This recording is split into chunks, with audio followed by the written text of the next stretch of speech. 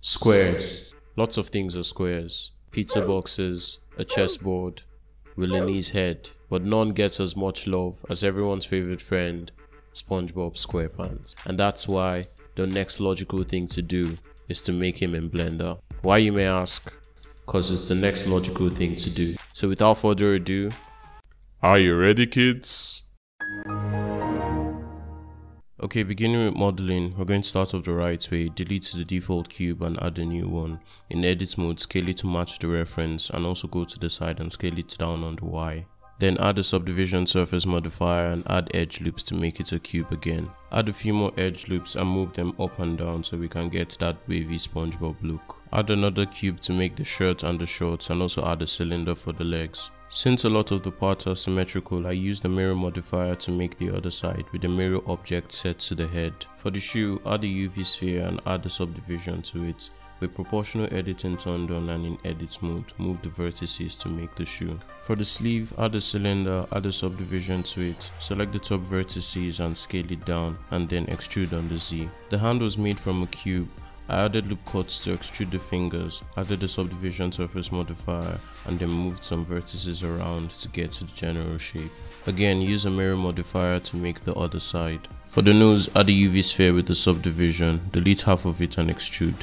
Add loop cuts and with proportional editing turned on, select a vertex in the middle and move it on the Z to bend it. The eyes are also made from a UV sphere cut in half. For the mouth, delete these faces and in vertex select, move the individual vertices so it lines up with the mouth on the reference and finally add the tongue and the teeth. Moving on to the materials, select the head mesh and add the new material in the shader editor.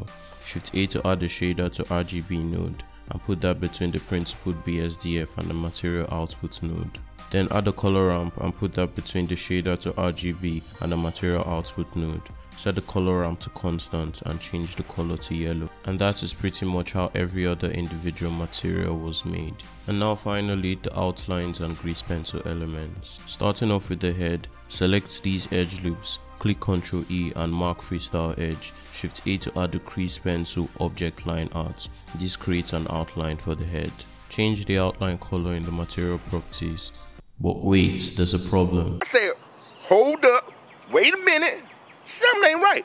The outline color for the head is different from the mouth. I fix this by duplicating the outline object and applying the line art modifier on the duplicate. In edit mode, select the outline around the mouth only, separate it and delete the rest. Change the color to black and move it forward till it covers the other outline. To make the outline of the other object is pretty much straightforward from there. Shift A, grease pencil and object line art. A good tip is to add all your outline objects into one collection so you can easily hide them because this can take a toll on the viewport performance. I use the grease pencil blank, set it to stroke and in draw mode made the eye details, hold shift while drawing to make a smoother line.